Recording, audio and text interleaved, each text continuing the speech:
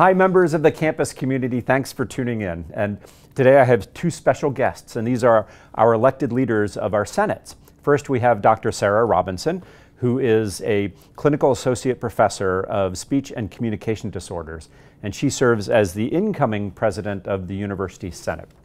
And we have Mike Wozniak, who is the president of the Staff Senate and works with the student involvement and parent programs, and he's the coordinator of, of leadership and, and programming. So, long titles, I got through it, and uh, we're delighted to have them here. But I also should give a shout out to the outgoing presidents of the Senates, and that's uh, Bob Newman from the University Senate. Thanks, Bob, for all your work. And then Paula Cox from the Staff Senate, who has done an extraordinary job.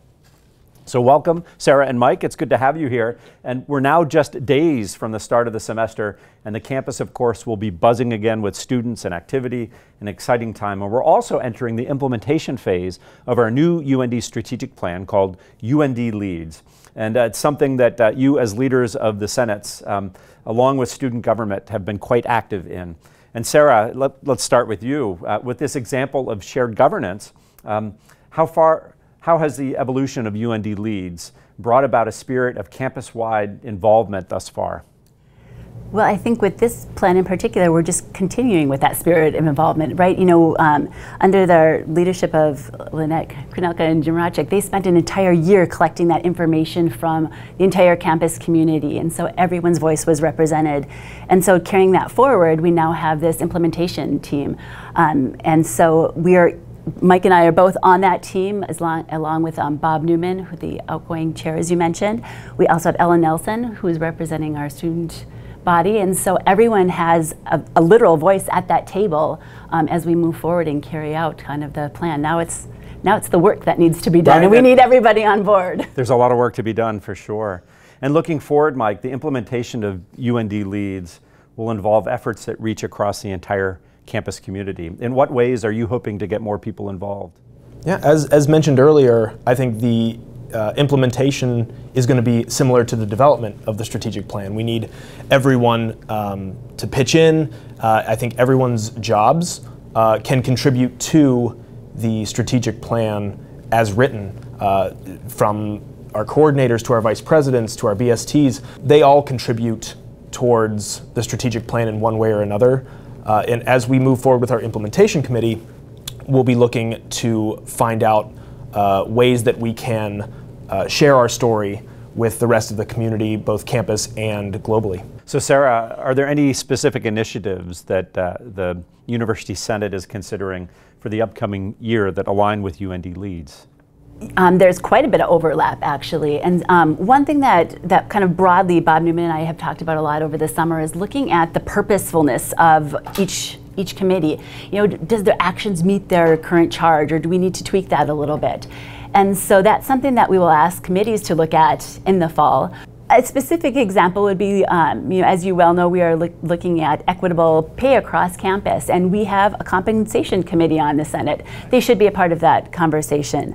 Um, experiential learning is also part of that leads implementation or one of those goals, and our Essential Studies Committee should be involved in that conversation. So there is a lot of overlap and a lot of things that we'll probably be asking committees to, to take a look at. Nice. And then, Mike, on the staff side, of course, um, how are you hoping that Staff Senate supports the implementation efforts of UND Leads. Right. So the the great uh, the great thing about Staff Senate is it really is a voice for staff on campus, not only to air. Um, concerns and things that we could work on and improve towards, but to share successes uh, with the rest of campus and with the strategic planning committees, et cetera. So uh, we have a lot of opportunities to share those stories and to make sure that everyone is heard uh, as well as we're looking to improve ways that staff feel welcomed at UND uh, and from that first day along um, their career here. So we're looking to develop more of those through this year and through future years to make sure that staff really fit that affinity pillar within the strategic plan as well. Wonderful. And Sarah, one final question for you.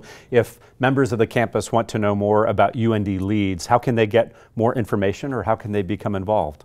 Um, we want and need everyone's involvement, first of all. Um, and so check out the UND Leads website. And if you want to be involved, if you already know how you fit into that plan and want to be a part of it, um, email directly um, either one of the co chairs, Angie Carpenter, or Ryan Zerr. Nice. Well, this is great. Thanks to the two of you for, for joining us on camera today. This is great information for the campus to know, and it gives everyone a chance to understand how the implementation phase of UND Leads is happening through the great support of shared governance and the, and the two Senates. So, so thank you again. Um, I should also let everyone know that in, in one of our upcoming sessions, we'll have the other elected leaders uh, come to campus. These are our student leaders. So we'll have um, uh, of course, Ellen Nelson and Connor Ferguson, our president and vice president of student government. Uh, they'll be guests on a future video, and, and they'll talk about their contributions to UND Leads.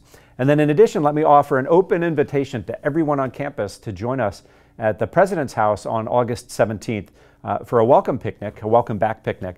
But prior to that, over in the Nistler College, a, um, a state of the university presentation where I'll talk both about current state of the University of North Dakota and also what's happening with UND Leads. So thanks everybody for tuning in and uh, we hope that you enjoyed this video.